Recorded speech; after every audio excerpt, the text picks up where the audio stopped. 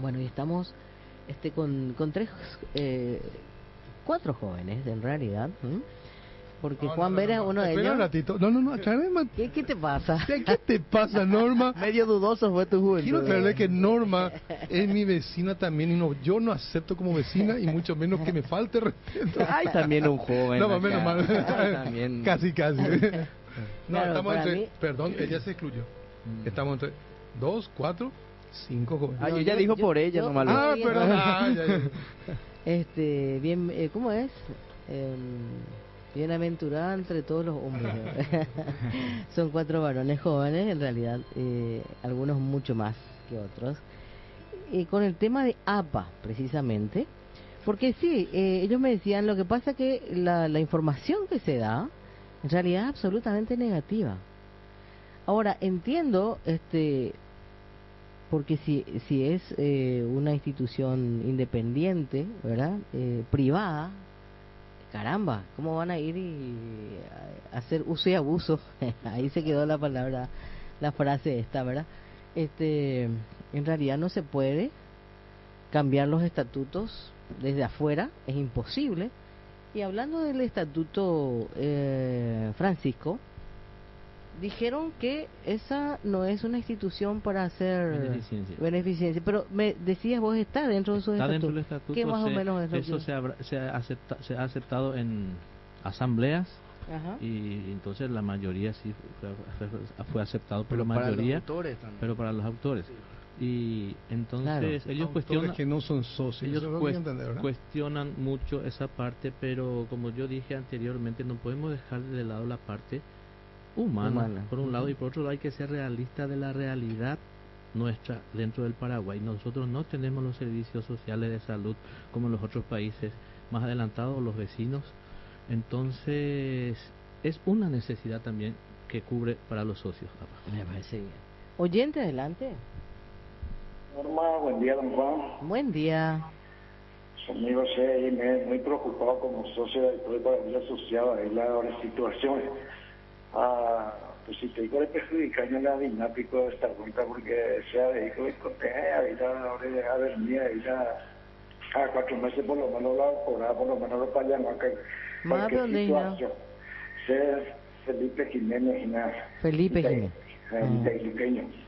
Ah, mira. ah, Sí, ah, entonces la vez pasada yo topé con mi curia y de hotel será poco de joño monguetaja o igual a la situación hombre uso ahí porque por eso se la prensa y la hora por el la respaldo que entonces la señora Patricia Stanley oye poco de injusticia ya de corazón ah, porque no corresponde a hoy que entonces te hace tipo de juicio vuelvo a los socios entonces claro de ella y me preocupaba ella ojalá arreglar más con la situación cual curia el año pasado fue con la de asamblea mi curia hoy la otra y la hoy me presentaban la curia de ella democraciamente la como candidato y uno años me presentaba entonces con unanimidad ella era el presidente al cierre abajo llega el presidente está cogiendo la culpa aunque la socio mala o resolver entonces este momento te ha recurrido ni presentamos a la otra ni presentáis porque por lo menos no por estoy condición playar la ni presentado entonces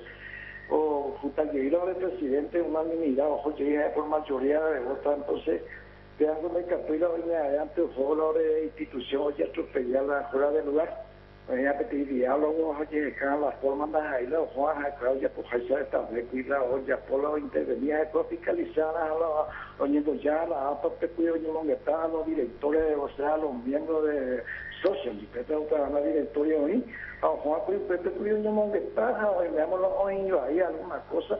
Oye qué forma oye muy con anda ahí la ya ya vas allá esta injusticia de porque ahora la prensa y el otro entonces la vez pasada que andaba por ejemplo ni presentar cuidado ojo firma paite peamos a que ya lo mitad ahora campesino los rechacé cuidado ahora tú esa igual la canada más ni a los premios de que ella a papel la situación y a veces corriendo lo que tenga norma un falso amigo Ay, capaz que lo ni solucionamiento, porque he estado ahí, por ejemplo, un frente de Ría que me llama y don Patinesa mío está presente conmigo, así para la era de la música de la cultura para allá. Entonces, un día por lo menos por falta de respeto a la a situación, a la pues, no soy apenas sea por tenía de vieja, ojalá amigo, oye, solucionado el lado de situación, allá, allá convivir para que allá defender la de cultura para allá la integridad como para apayo.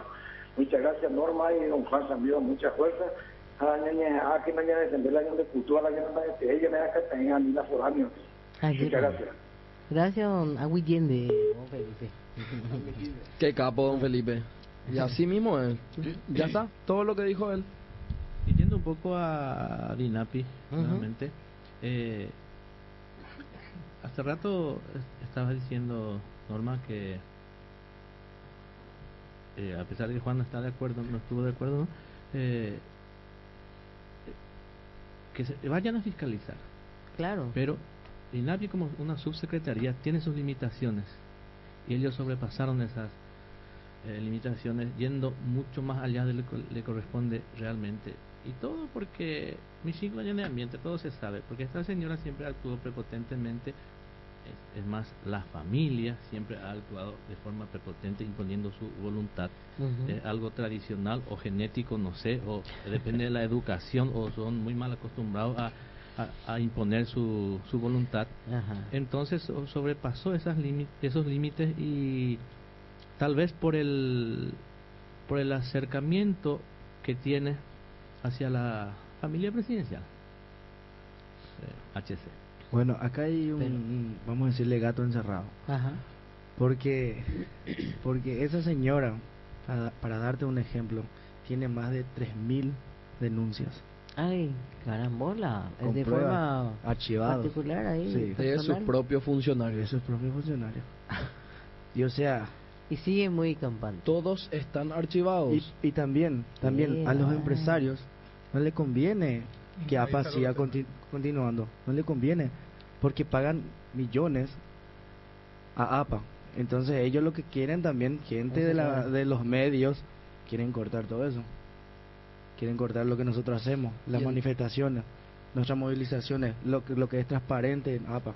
Ellos quieren tapar eso y poner la otra cara. ¿Se puede hablar de que hay una, una censura por parte de la prensa en relación a lo que hace aquellos que no sean los 15 gatos locos que andan por ahí como si fuera la oposición claro que hay una censura ¿qué pasó ayer? ayer fue en el Sheraton no ayer ayer fue ayer fue estuvimos, estuvimos con grandes de la música estuvimos haciendo un una marcha ahora mm. pacífica frente al Sheraton. ¿Y qué pasó? Se fue un canal, se fueron reporteros, algunos pasaron algunos canales y no se animaron a quedarse, otros nos hicieron reportajes, estuvimos atentos al noticiero, jamás se pasó.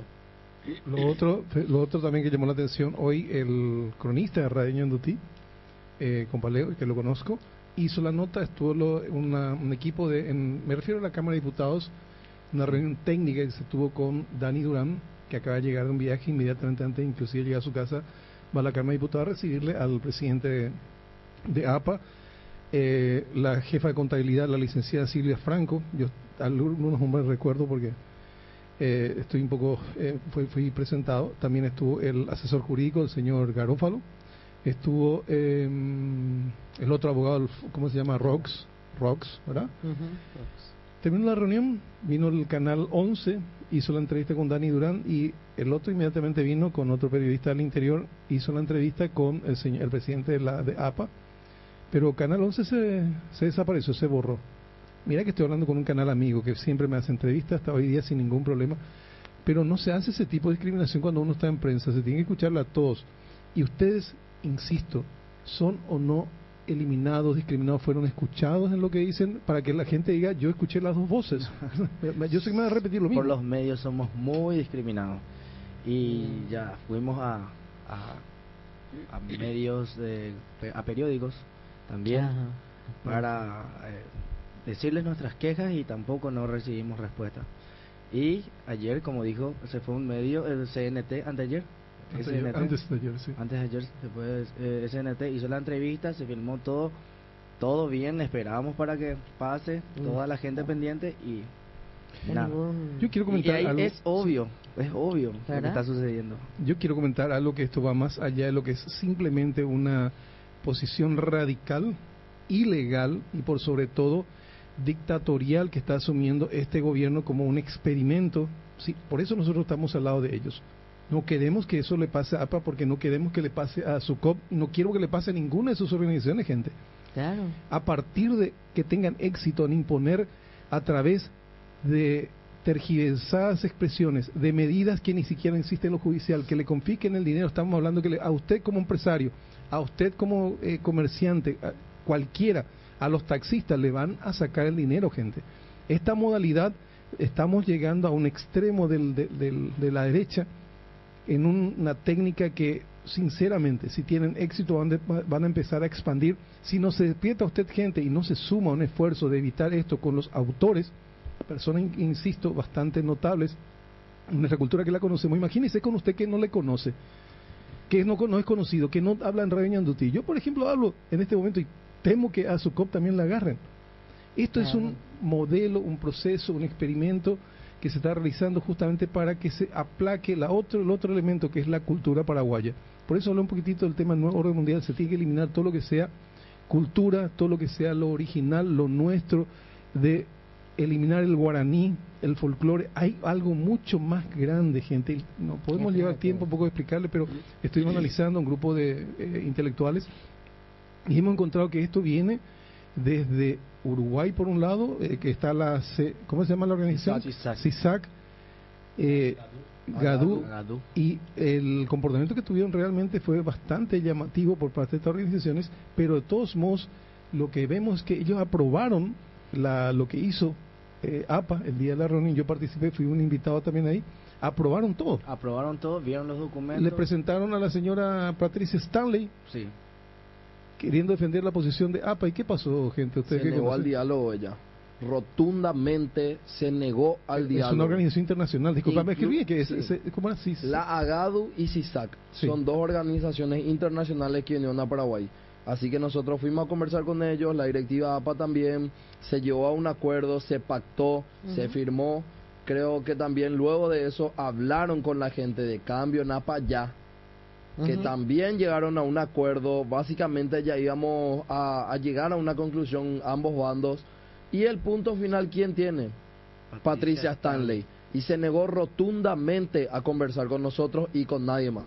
Y a llegar a un acuerdo. Pero no es la primera vez que yo esté enterado, porque creo que ya se. Eh, esto que viene del mes de diciembre, eh, que es lo que yo tengo datos, sí, sí, sí. pero se realizaron varias reuniones en la oficina del diputado Dani Durán, se llegó a acuerdos. Eh, ¿Ustedes tienen referencia a eso? Sí, ya se tuvo acuerdos. Francisco, vos tenés datos del tema. Pueden comentarnos porque no es la primera vez que en el capricho de Patricia Stanley no se respetaron los acuerdos. ¿Qué ocurrió en una reunión, creo que en abril aproximadamente? Por ejemplo, ella, ella cuando las veces que fue convocada nunca asistió, por ejemplo. nunca asistió eh, ni en la Cámara de Diputados ni, en ningún lugar. O sea, de diálogo no tiene. Mira, Paula, ya contar nomás algo lo que dice él. Ella nunca se presenta a hablar cuando se le pide. Se dice esto, ella se niega y al día siguiente ve en los periódicos, gente de APA no está abierta al diálogo. Es impresionante. Pero, impresionante. ¿Por qué dicen eso? Ustedes presentaban por nota, pues yo he visto algunas notas que ustedes presentaban de reunión. Por eso le quiero hacer la pregunta porque yo sé lo que está ocurriendo. Se presentaban por nota. Hace tiempo van las notas, ya, ya, ya, ya. Durante estos siete meses. Ya gastamos todas nuestras hojas de presentar notas nuestra tinta. No quiere hablar con dialogar, no quiere dialogar. Quiero saber, quiero preguntarle a ustedes que estamos en la mesa, ¿qué se cree? ¿Quién una dictadora? ¿Quién sos para no querer hablar con artistas, con autores? Tenés suerte que queramos dialogar contigo, porque si no, por la fuerza patada te vamos a echar tu cargo. ah, qué bueno. Eh, y mira, el ánimo que está mencionando acá eh, es justamente el sentimiento que tiene mucha gente. Yo agradezco a estos chicos su valentía porque hay muchas personas que en la calle, allá en la movilización, me dice Juan, ¿qué me puede hacer por nosotros? Yo les digo, yo vengo a ayudarte, no puedo hacer más nada. Lloran la gente.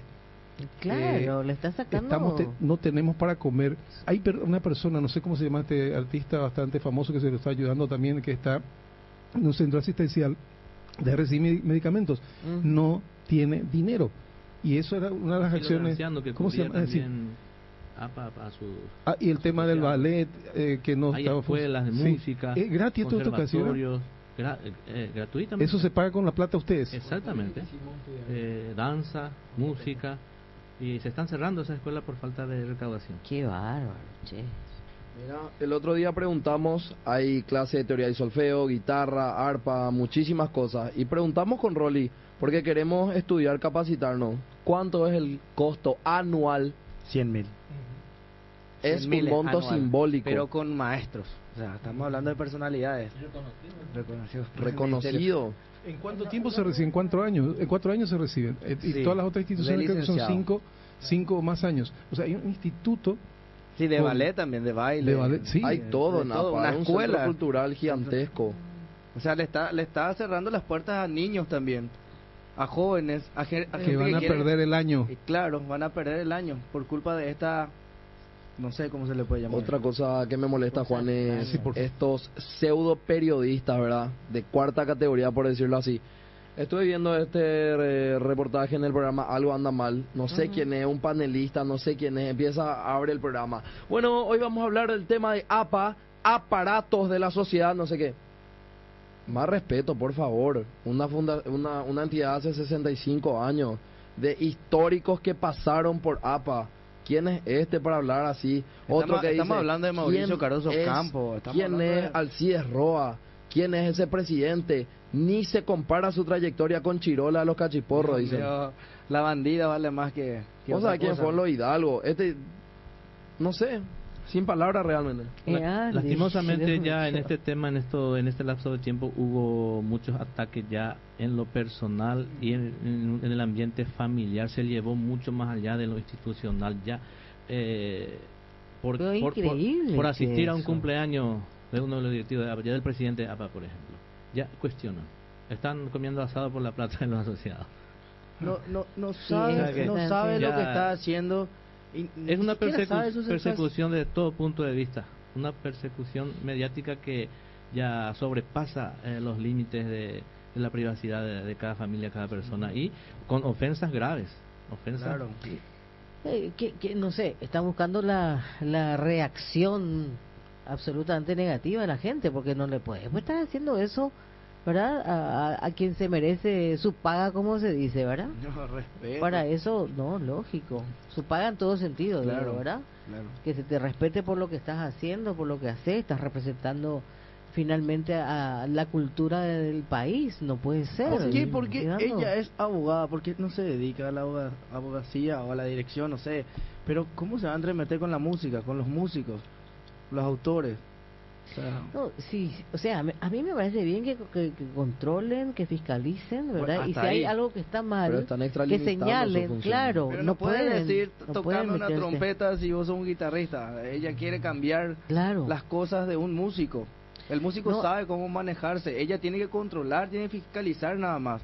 No venía a entremeterse a pisar todo, no, yo quiero así, yo quiero así, yo quiero así. Lógico. es privado. No tiene, y más cara dura otra vez que cierra, cierra, eh, APA no puede cobrarle a los grandes empresarios. ¿Cuánta plata ya perdimos? ¿Cuántas músicas nuestras ya se usaron gratis en esta fiesta y APA no cobró? Y lo peor de todo es que abre otra vez una cuenta. La DINAPI abre una cuenta en el Banco de Fomento y, dice, acá depositen el dinero, dice y, los grandes empresarios que siempre fueron los eternos evasores de todos los tiempos y siempre querían negociar a, como ellos les convenía, ¿usted cree que, o usted oyente cree que voluntariamente van a ir a depositar lo que corresponde? Sirinapi no tiene el aparato operativo que tenía APA eh, para las cobranzas hasta el interior, cubriendo todo el país, por ejemplo. La pérdida aproximada que están teniendo ustedes en un documento recibí porque estuve compartiendo con el diputado Dani Brand 9 mil millones de guaraníes, estamos hablando, y esa plata no es de Dinapi, esa plata es de... De autores. De ustedes. Es, de nosotros. La mitad, según supe, el 50%, según explicaron la gente de la eh, Confederación Iberoamericana de Autores, eh, 50% son para los artistas extranjeros, en este caso, no sé, por mencionar los Beatles, eh, no sé, Paul McCartney, Paul McCartney. O sea, la plata, ellos también en este momento se está dilapidando. ¿Qué le puede ah, afectar a Paraguay si es que no paga? Porque de repente yo creo que hasta se puede sancionar, porque al final de cuentas es derecho humano. Yo quiero aclarar por qué estamos también, insisto, a su por la artista, es un derecho humano, gente. Sí, se nos saca el repertorio internacional. Y otra cosa, eh, se nos cierran las puertas a los artistas. Es difícil salir en el, en el exterior. Y ahora peor No, pero acá mismo cuesta, ¿verdad? Claro, este, cuesta muchísimo. Vivir de, de, en este caso, el artista, de lo que le gusta hacer es... Sacrificado, sacrificado. Y hay muchos folcloristas que hasta ahora suenan en Argentina, suenan muchísimo, suenan en otros países, eso todos están cobrando y si se nos saca el repertorio internacional ya... Van a hacer lo que quieran de nuestra música. Una, curiosidad, quiere decir que si las asociaciones, porque este tema de asociaciones son en cada país, ¿verdad? Entiendo. Así mismo. Son todas privadas. Hay un APA en cada país. Hay, exactamente, hay un APA por cada país. Si es que no le están pagando APA ustedes a Argentina, a Brasil, a Estados Unidos, ¿ellos le están pagando a ustedes allá por sus obras? No. Ellos pueden utilizar, pueden hacer lo que quieran también. Porque claro, si no cobran, ¿cómo pagan? No hay reciprocidad. Claro. Una estupidez tremenda está, está perjudicando el Paraguay. Está perjudicando solamente a autores, a todos. Yo considero esto llevando un poco dentro de lo que es la política mundial, ¿no? Considero como eh, como suelen hacer los grandes países, cuando no está de acuerdo con los pequeños países, le bloquean económicamente y tratan de asfixiar para que el propio pueblo se levante contra su gobierno. Y yo creo que esta es la técnica que está utilizando esta señora. Bueno, así los socios ya no cobran más y entonces va a haber un descontento y seguramente que le van a chutar la, a, pero está ocurriendo eso, yo no veo eso, porque si es que veo eh, en la página de ustedes aparecen cinco mil y tantas personas que ponen la carita dicen, yo estoy de acuerdo con ustedes, 220 mil lecturas creo que tienen ya. Quiere decir que hay personas que no creen lo que dice la Patricia Stanley. Claro, pero nos levantamos tarde. Imagínate, nos levantamos tarde, seis, ocho meses después de ello, y mira, mira cómo nos recibe la gente. Le duplicamos, triplicamos, cuatriplicamos la página de ellos en cuatro días. Una cosa que quiero aclarar, que también la oposición está bombardeando constantemente y da a entender, quiere dar a entender de que esta comisión está conformado, eh, fue formado por los directivos. No tiene nada que ver, nosotros somos una comisión independiente que fuimos a ofrecer nuestro apoyo eh, porque creemos lo que estamos defendiendo eh, voluntariamente y independientemente de la comisión directiva se formó este movimiento denominado Defendamos APA.